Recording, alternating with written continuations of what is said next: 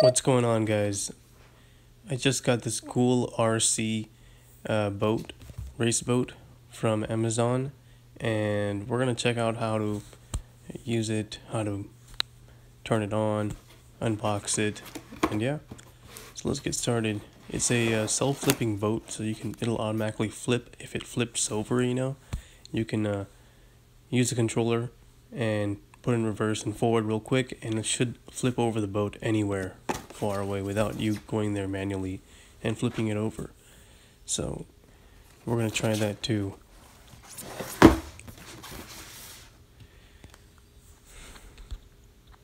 So it's recommended for ages 14 and up. Um, it has a stand that comes with it. You can assemble that and put it on the stand. There's a battery that comes with it, remote controller, uh, two caps for the front of the uh, device to prevent damage, and uh, yeah. There's also a AC adapter for charging the battery. The battery is a lithium ion battery, so it's not a LiPo, lithium polymer where you have to have it charged at a certain level. But with the lithium ion, you should be able to charge it at any level you'd like. Included in the package is a uh, AC adapter for the US uh, plug, and that end goes into the balancer charger charging port on your battery. I'll explain that later on. There's two cap protectors for the front.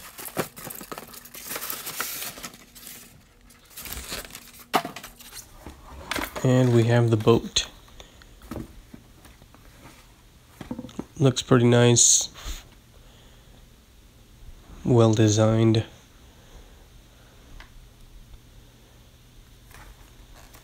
Now that's just foam I got on top of there. It's just static clinging to the boat, but it's washable. You just wash it off.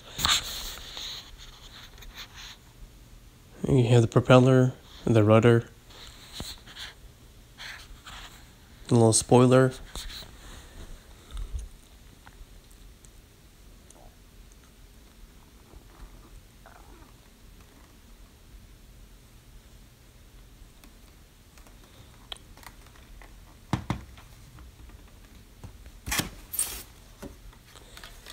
This is the transmitter.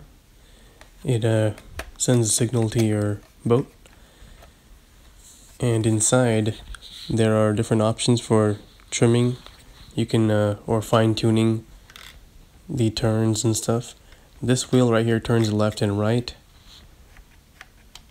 And that's your throttle so increasing your power reversing or turning it off.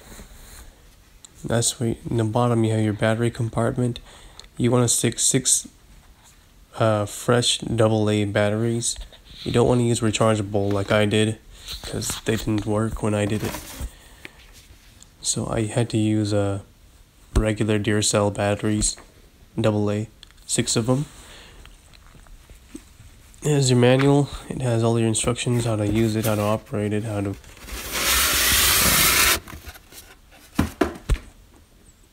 use the basic functions and install the different things. It's also a stand where you can put the boat on, where you can assemble it. It's pretty easy. No screwing required. It's just like a snap-on deal. You just push with the other two plates onto the one plate and it is assembled. This cap is easily put on too. You just gotta push it on and put that little bottom piece right in that hole in the bottom. And you have your open and close. Straight is uh, closed and right or left is open. So you can just kind of you just have to rotate the switch, remove the top cover from the back up, and then you have a series of locks in place where you have to make those straight to open the the seal. So I'm flipping it straight, all in line with each other and I'm lifting it open gently from the back up. inside you have your lithium ion battery, a desiccant to remove the moisture or oxygen, either one, um, water cooling uh, around the motor, which is pretty advanced. I haven't seen that kind of water cooling system ever in a boat. Then you have your plug to plug it in, your battery to your main power. Uh, a box up there in the top right is your um, circuit board circuitry. The battery included is a 7.4 volt uh, battery. The battery is 1,500 uh, milliamp hours or 1.5 amps. Uh, there's also a warning, you should read that. Um, that's really important to read that. Um, that's how you plug it in. The adapters just snap onto each other. When you're putting the cover back on, you want to put the front in first and then put the back in where the, like how I did it. And then you want to snap, you want to lock in the uh, locks. So you want to put it, make sure they're facing inwards and they're locked in there so they're not moving and you want to verify that the seal is complete from the round sitting in properly then you want to snap put the top cover put the front in first where the mirror is the black area and then you push it down and uh, lock it in place. So on YouTube I finally figured out how to turn it on and pair it.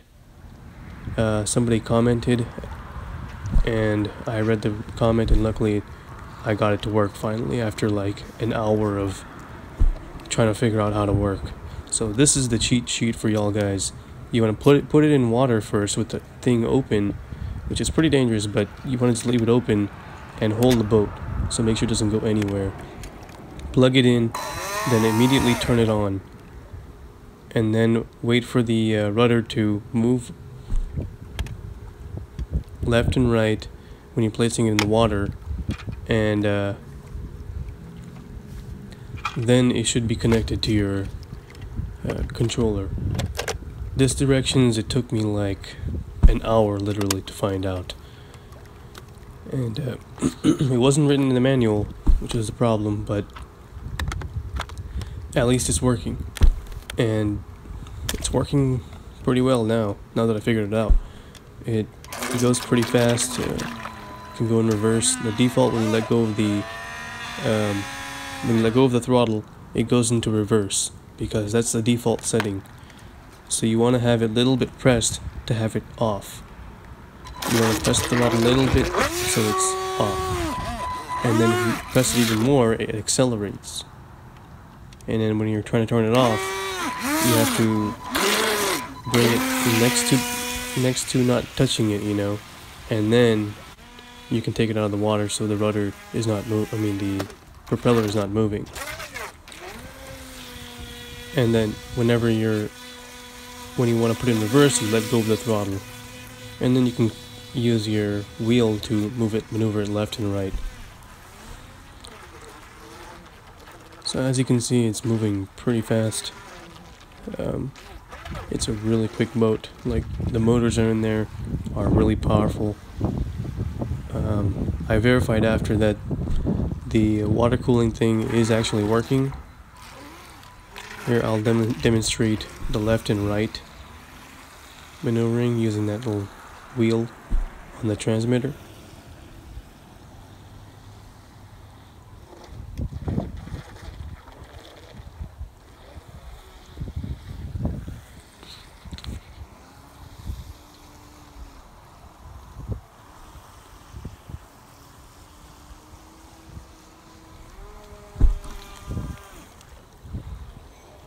So the turning is pretty good. You want to have it low throttle if you're like close to off or whatever, you know. Um, whenever you want to do tight turns, but when you're when you have the throttle pressed down, like full acceleration, then you're gonna uh, you're gonna have slower turns. So it's gonna you want to like kind of slower your lower your throttle when you're doing tight turns.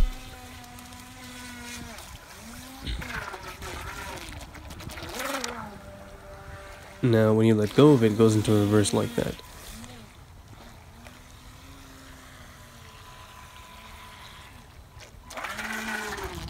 Now I'm going to show you the self-flipping feature. So, I let go of the throttle and that's why it's going berserk. But now it's, there it is.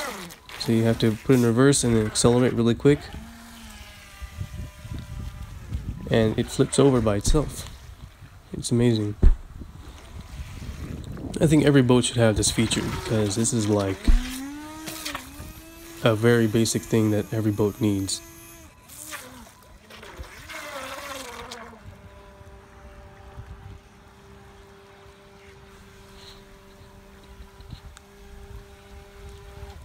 So when you take it out of the water, it automatically shuts off because there's two sensors on the bottom that if it doesn't feel that there's water there, then it won't arm the motor. Apparently, that's what's written in the boat uh, manual.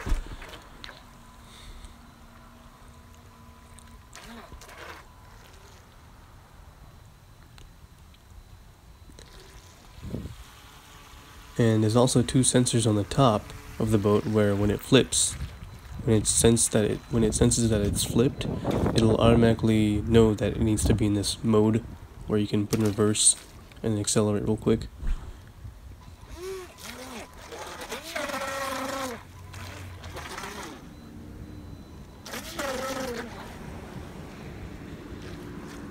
Yeah, the boat is pretty much sealed. Like, even if it's under, even if it's underwater for like a little bit, um, or flipped over, I checked the seals and there was no water inside. So I'm pretty impressed with the sealing and the flip over technology. If you have any problems with setup, you can go back in my video and uh, check out how to set up. But other than that, issue, it's working really well and it's pretty fast. I love it.